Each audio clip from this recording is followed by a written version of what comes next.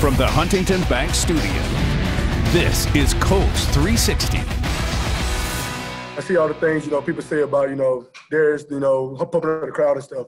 You know, only dumb is quick. You know, I'm not, I'm not a quitter. That's not what I do. I fight to the finish. You know, I'm trying to get this team going. We're trying to make a play. Yes, we down. We've been down for time, plenty, plenty of times. But guess what? You keep fighting. You know, when you in these situations, you find out what type of team you have. You know, who's quitting on you? Who's gonna keep playing? That, that's, that's that's that's what we got to do. That's that's I mean that's what I try to do today. I mean that's why you know I feel like the defense came out in the second half. You know, it was more so like, okay, are we gonna lay down? Or are we gonna step up? Welcome to this week's Colts 360, and you heard it right there from Darius Leonard after the loss to Tennessee. Coach Reich, in those situations, he said you find out what type of team you have. Hearing that from one of your leaders, one of your captain, how much does that resonate with your team going into the final month of the season? Love it, and and what's even more important, Lara, is that those aren't empty words from Darius. I mean, you just watch just watch him play, watch the way he leads he's not the only one, but he's certainly one of the key leaders. And, you know, even as bad as things got yesterday, you know, at halftime, uh, you know, the way our defense came out in the second half, and really, in, in some ways, you know, even though we didn't play great in the second half as a team, we we still did keep our streak alive of outscoring our opponent in the second half, and that might be the one positive to take from that game that we were able to, uh, you know, outscore uh, a good opponent in the second half. Another encouraging element was certainly T.Y. Hilton. He led the team in receiving, had that first touchdown of the season. How encouraging was that performance? It was very vintage T.Y., especially making that catch in the end zone as he did. Yeah, I mean, it, I was happy. You know, that's probably another positive. I mean, just get Ty going a little bit, get it.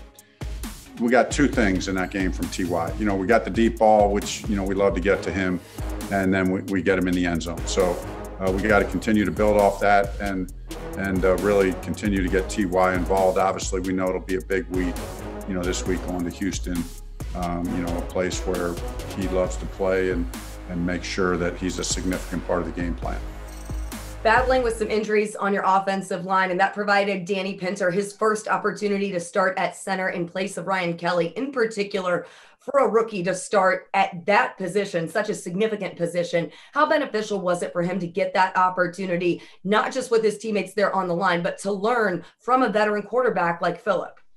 Yeah, I mean, Danny really handled himself well. Um, I think it helped, you know, having Quenton and Glow beside him, you know, having Philip taking the snaps from him, having Ryan having his Ryan Kelly having his back all week, talking to him about you know, the calls and the plan. And, um, but when it all was said and done, you know, Danny's the one that had to go in there and make it all work, and, and he did a good job. Jacoby Brissett, just the fourth quarterback in the league to rush for two touchdowns or more in a single game. When you and Nick Sirianni started thinking about this game plan of the package you would have this season for Jacoby Brissett, is the type of productivity he's provided the last three weeks what you envisioned for your offense? Yeah, I mean, it, yes, it is, Lara. I mean, it's early. Obviously, it's only been a couple games, and you know it'll get harder and harder because teams will, you know, they'll try to figure out what we're doing, and that's why we we have to continue to try to stay one step ahead. And you know, fortunately with Jacoby, that's easy because you know he was our starter last year, so it's not like we're only going to do specialty type things, you know, with him, quarterback runs, or you know, the whole offense is open to us. So um, we'll continue to think that through and be very judicious about how we how we plan that out. And uh, but you know, Jacoby does a great job with it. Injuries are always to be expected. It's certainly part of the game, part of each and every season. But how challenging is just how fluid this COVID situation is with the variants, this great variance when it's symptomatic versus asymptomatic. It's a positive test versus a close contact. And then doing the math on whether it's a number of days or a number of tests you have to be negative in order to know exactly who you have available for Sunday. Yeah, no, it's challenging, but it's the same for all 32 teams. And um, and really, it's about your mindset as an individual and as a team and as an organization. And you know, we've said this a lot, but our organization has done, I think, a phenomenal job, you know, with adhering to the protocols, trying to minimize everything. But at the end of the day, Larra, it's still a virus. You can't you can't totally control it. So, you know, we just have to be on top of it and, you know, and then just you know, be able to adapt and adjust. And our players have done a good job of that. Houston, a team that has certainly dealt with share of adversity, especially to start the season. They lost DeAndre Hopkins and the firing of Bill O'Brien, and they appear to be now a team that is finding its identity and hitting its stride, posting back-to-back wins on the heels of Deshaun Watson and certainly what you're familiar with in his capability, his talent, and his ability to put a team on his back. With the familiarity you have, you're certainly going to draw upon that. But what are the other things that you emphasize when you're facing a team that's on a bit of a hot streak going in to play at their place, having won three out of their last five, four games. Yeah, no, you're right. They've won three out of the last four. They've been scoring a lot of points. They've scored 27 or more in five of their last seven. You know, have that elite quarterback. So really, our focus is, you know, not so much this is a hot team. You know, we respect this team. I mean, this is a team in our division. We we know how good this team is. So this really comes down to you know what we do and how we do it. So, and what that means is it starts with what we do and how we do it in practice and how we do it in meetings. You know, to get ready to have play our best game of the year this week. On a different note, earlier in the week, your punter Rigo Sanchez revealed that he'd have surgery to to remove a cancerous tumor. Certainly, we know football matters. It's all something that we love very much, have a great passion for. It's why we're all sitting here on this conversation, doing this show, and we're all getting fired up for Sunday. But how much does that situation and this battle that Rigo is going through just put in perspective that it is truly the people that are what's most important? Yeah, I mean, it really puts it into perspective in a hurry. And, uh, you know, I'm thankful that, you know, to work for an organization you know, like the Colts and the Irsay family, who where family is a priority, and those aren't just words. I mean, when something like this happens, I mean, it's first and foremost about the person. And Rigo is the best of people, right? Everybody knows that. Uh, well liked and respected, and uh, you know, we're just we're thankful that the doctors caught this thing early, and uh, we're very optimistic. Uh, you know, we're very optimistic about the prognosis. But uh, so and and but all of our thoughts and prayers are with Rigo, and you know we're we're obviously hoping for the best as far as a speedy recovery and, and, and back to being out there with us on the football field certainly keeping Rigo and his wife Cynthia in our prayers. We look forward to some updates on his progress through that. Coach, always appreciate the time. Good luck. Have a safe trip to Houston. Thanks, Laura. The Maniac is on the mic. Darius Leonard on a pivotal stretch of the season and his campaign to see another Colt as Defensive Rookie of the Year next on Colts 360.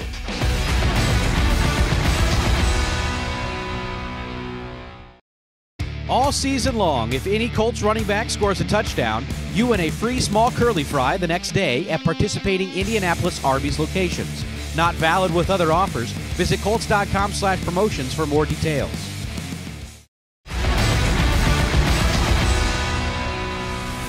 Back now on Colt 360, the one, the only maniac, Darius Leonard joins us now. And Darius, after the loss to Tennessee, you had some strong words for your teammates. You said, you know, I'm not a quitter. We aren't a team of quitters. And this is a point in time, this is a situation when you really feel like you can find out the type of team that you have. What has the response been like from those words this week from your team? Um, you know, everybody just, you know, we we taught to finish. You know, we fight through everything. You know, especially me. You know, I've been I've been doubted. I've been, you know, people saying I couldn't do anything, and you know, I'm always just, you know, trying to go out and prove that, you know, I belong. And no matter what it is, you know, I'm gonna fight through the finish. You know, there's a lot of people who like who love to quit when they get down. You know, but you know, I've, I've been fighting for everything since I've been, you know, since I've been younger. So, you know, just trying to keep that same mentality no matter what, and it's trying to tell my teammates, I don't care what the score is, and as long as they got time on the clock, man, we can find a way to get a win, and that's the mindset that you got to have if if you're winning or if you're down do you draw upon previous experiences with these guys that you can use to say, hey, we've come out tougher from bigger challenges than this? Um, I, I think about the Cincinnati game. You know, the Cincinnati game, we was down early. And then, you know, I go back to the Green Bay game, you know, we're down. And, you know, just because you're down, it doesn't mean you can't get back up and keep fighting. That's that's the main thing. You know, it's not about you getting knocked down. It's about you how do you respond when you get back to your feet. And that's that's the mindset. Because I mean, everybody get knocked down, but you gotta you gotta get up. You gotta keep fighting no matter what. And that's the mindset, you know, that you know I tell them. And I, I use that example with Green Bay, and you know, that's something I really stay true to. It is always tough to be down a single starter. We know what your teammates said about having uh, having to play without you in those few games that you had to miss, and the difference that it makes not having you on the field. when you're down three starters with DeForest, Denico, and Bobby all out in that game against Tennessee, where do you feel their impact, that loss, the most on this defense? Um, you know, just um, I say that energy, you know, just you know that that dominant force. You know, DeForest, DeForest is you know he's a monster. You know, you know who he is. You know, he's All Pro. You got Denico. You know, he's you know great defensive end. You know, he's been making plays, been playing well. You know, Bobby's been doing great in the pass game and in the run game. So you just missed them elements, but you know, you just it's the next man next man up mentality. You know, you gotta you gotta prepare as you're gonna be the starter no matter what. You gotta do your job. You know, so even if them guys was there, they still have to do their job, and that's the mindset that you're supposed to have. You know, even though that you're missing them guys, you still got to do your job. You got to find a way to get the job done no matter what. We asked Coach Reich last week about your essentially single handedly starting the campaign to try to get Julian Blackmon as Defensive Rookie of the Year.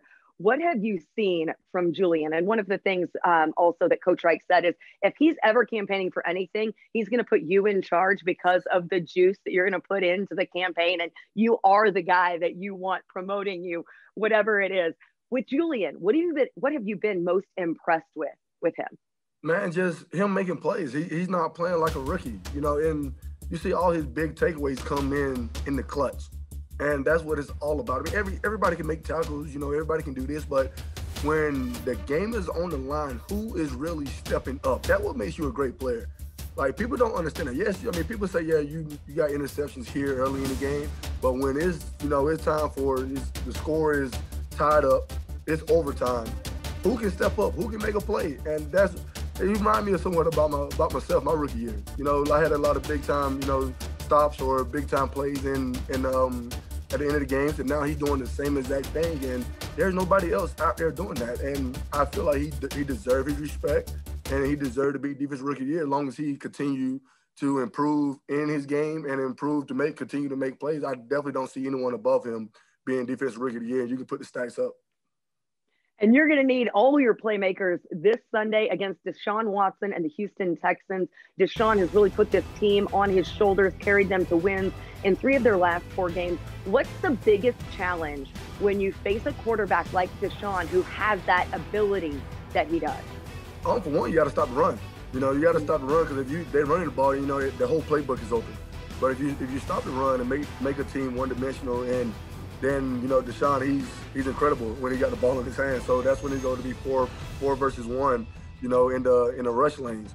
And then you know you got to make sure you keep him in the well, make sure he don't leave out the pocket because he make his a lot of his big plays whenever he leave the pocket. So you got to make sure you keep him in a in the pocket. You know, all all guys keep your eyes on him. And then whenever he does leave the pocket, the DB's got to make sure that you're plastering the guys because now that turns to backyard football. You know, that's you know, we all grew up playing backyard football, and there's no there's no routes when he's out of the pocket. Now you got to go out. Okay, they're about to run some stuff that you've never seen before. So you just got to make sure you plaster your guys, plaster your eyes, and make sure you stay in coverage, and just um, have somebody get um, get the quarterback down.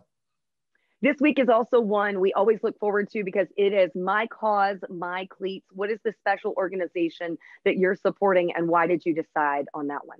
I'm going with the Lupus Foundation. Um, my little sister been battling lupus for uh, three years now, and just seeing all the things that she's been through in life, you know, the aches, uh, the, the weight loss, the um, you know, the hair loss, and just seeing how much she fight and not not giving up. I never seen her quit. I never seen her have a doubt in her mind, and you know, that just with me playing ball, you know, just I'm so thankful to be out here, you know, to play this game because knowing that she can't do the things that she used to love anymore. So now that she's not out there complaining, she's not doing anything. So now I know that I can't I can't complain no matter what I do. And she's so strong, she's so courageous, and I just want to let her know that you know I'm with her no matter what what it is in life. And I just want to show her that my support and I'm standing behind her. Darius, you're always one of the best. You're always supporting everybody else. We got to make sure that we support you. Get that Pro Bowl voting going. You can do it on social media. Let's get the maniac there into the Pro Bowl let's let's get it. Let's go and get back there. But hopefully, I'm not playing in it. You know, but you know, hopefully I get the vote. But hopefully, I won't be playing in it. Darius, appreciate you. Have a great game this weekend. Oh, no problem. Thanks for having me.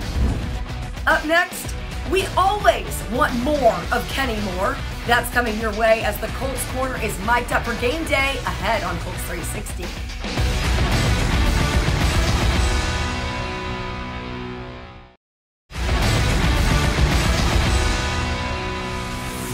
He's a fan favorite for his explosive playmaking ability on the field and his dynamic personality off of it. Colts cornerback Kenny Moore takes us in between the lines for that big divisional battle against the Titans. Hey, to get to where we going, we gotta take care of business today. DBU with a slide on three, one, two, three, DBU. Give you something? That's crazy. You think I'm out here to give you something? I'm not out here to give you anything but a dub. No commentary, no dialogue. I just play football. See what? My brother. What's up? Yes, sir. Woo! Let's have one, What's up, bro? My other brother. What's up, brother? Love, bro. All day. Yes, sir. You know what? Shout out to my mama. Shout out to my family. Shout out to the whole city. Woo! Jack about to sprint out this ball. Jack jogging today. He's jogging. He's jogging. He might speed up. Sometimes he's sprint in the air. I rotate a cuff. Boom. I want to get Kenny started. Oh yeah, I like it.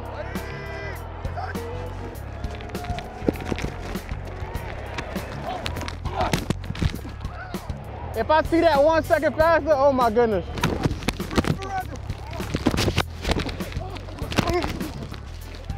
Woo! You good? Yeah, you, felt that on me. On me, I struck him. On me, I struck him. Keep your eyes open, okay? Come on, make a play. I'm going over.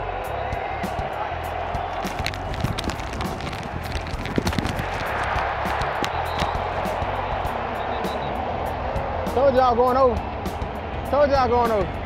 Grow up. Grow up right now. Oh, I gotta make a play. Here we go, right here. He gonna throw it right to me.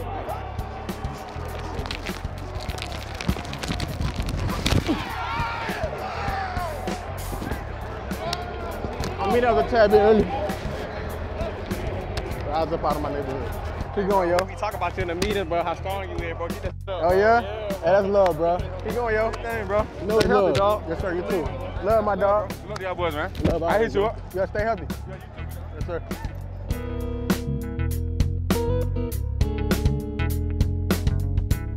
The Colts special teams unit has prided itself all season long on making game changing plays, like we saw in that first meeting with the Tennessee Titans on Thursday night down in Nashville. Now, in our latest director's cut, EJ Speed and TJ Carrie break down that blocked punt touchdown that swung momentum fully in the Colts' favor. We got so many playmakers that if you slip up, we don't make the play. Every time you go out there, if you're like, man, we can make a difference. Let's do it. And when the plays came, we made them. Come on, y'all. Make plays now. We knew that this game was going to come down to whoever made the least amount of mistakes. Bubba and Frankie, they always put together some great rushes. We said, hey, if we get in positions in the game and we need something to happen, we're going to start pressuring them. Here in the third quarter, and Tennessee leads 17 to 13. I know if I can get my hand in a, in a punter vision or anything, it can affect them. I didn't think the PP was going to come out that late, so I thought I was going to get the full block on this one. And I still got a chance to affect the play. He shanked it. Absolute shank job. Wow. So after that play, we were just licking our chops. When we seen that he was rattled after this one, hey, we're coming hard next time. Let's go. Now it's fourth down, and Tennessee will punt it back to the Colts. It was definitely a call block. They're a little rattled. So the more we false communicate, move around, shift around, gives them a level of uncertainty that we kind of sensed earlier. That tackle, he was supposed to be blocking out, but Zaire had so much pressure on him all game. He was kind of so fixated on his battle with Zaire that he lost track. I seen the tackle went down, I was like, it's scot free. Tavon jumped the snap so crazy and he hit the PP. So the PP had no chance to block any leakage on the block returns. And that slight adjustment of us doing those things just gives us enough confusion from their side to really capitalize on making this play. Colts should get good field position out of this one. They block it. The Colts block it. It's picked up by the Colts, and that's TJ Carrie. Special teams. How about ya? I launched with my hands first to get to the contact, but I kind of over launched on it. I thought it hit my chest, but I mean, it hit my it hit my helmet. And I kind of felt it like after the play. wow, this it's an open ball in the open field. My eyes is so focused on the end zone, I almost dropped the ball. I had to come back to it and say, oh, whoa, whoa, we ain't got the ball yet. Then I seen TJ running to the end zone with it, and I just chased to celebrate. Your brother makes the play, and you are able to capitalize on what he did. Us being able to score on this unit, it was such an impactful momentum switch that um, you need those in these big games. Touchdown, I-N-D-Y!